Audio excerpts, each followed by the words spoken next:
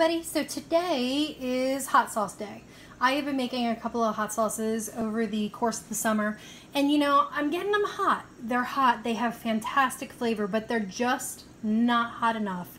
Um, so today I'm making one that I'm hoping um, that I won't even be able to taste. I'm hoping that I can just uh, say, smell it and go, you know what, it's hot enough, I'm good to go. So the peppers that I'm using today for this is I've got my jalapenos. I've got seven of them. Some of them are really aged and should be pretty, pretty spicy. Um, we have a couple of cherry bombs. These are our hot cherry bomb peppers. I mean, they're not crazy hot, but they've got a good bit of kick to them. Um, I've got some habanero peppers, four of them, and they are really red and really good sized. I've got two ghost peppers here. And then um, the cherry on the top, I guess you could say, is this Carolina Reaper.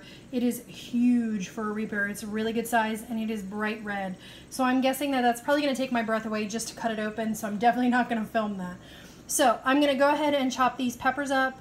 Um, get them diced and good to go. I've already juiced my tomatoes. I did half whole tomatoes that I chopped and then I juiced the other half. So I've got about 16 cups of uh, tomatoes and tomato juice total. So it's going to make a pretty good sized batch. And then I'm going to let this cook for a couple of hours. I want it to cook down to about half. I'm trying to get as hot as I can. Um, we're going to add some vinegar and some garlic and some other things uh, to get it going. But this is our start. I just wanted to show you what the peppers look like.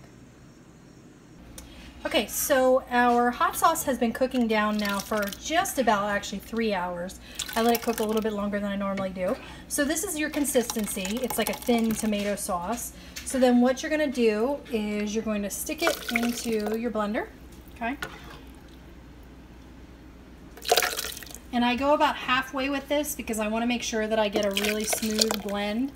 Um, and also because it's so hot, it will puree up into the lid and you definitely don't want that to happen. Alright. So we're going to do power and crush.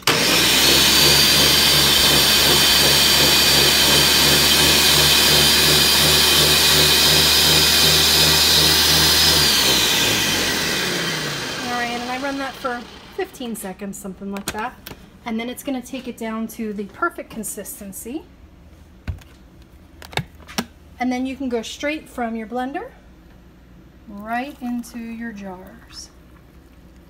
So I'm going to go ahead and fill the rest of these jars up. I have quite a bit of hot sauce. And then we will take a look at the finished product.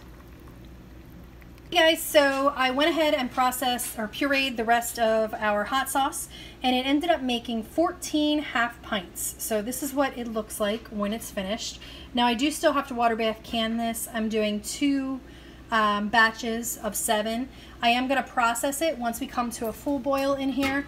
I'm going to process for about 15 minutes and then I'm going to pull my jars up like they are now, let them sit for another five, and then I pull them out and put them on the towel.